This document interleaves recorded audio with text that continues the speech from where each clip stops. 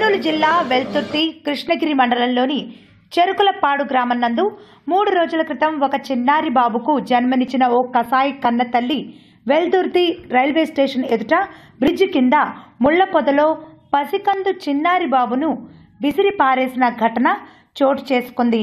అక్కడ ఉన్న స్థానికులు వెల్దుర్తి పోలీస్ స్టేషన్కి ఫిర్యాదు చేయడంతో పోలీస్ వారు అక్కడ ఉన్న బాబుని డోన్ సిడిపిఓకు అప్పచెప్పి ఆరోగ్య పరిస్థితి సరిగా లేనందున ప్రభుత్వ వైద్యశాలకు తరలించి వైద్యం అందిస్తున్నారు.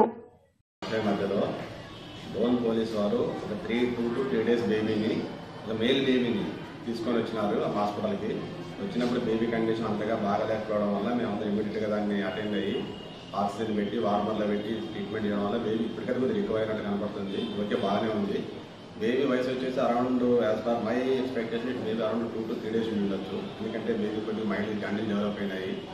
Male baby full term baby కాదు ఇది. అరౌండ్ బేబీ వై గెస్టేషన్ వచ్చేసి thirty two thirty five weeks మధ్యలో ఉండే అవకాశం ఉంటుంది.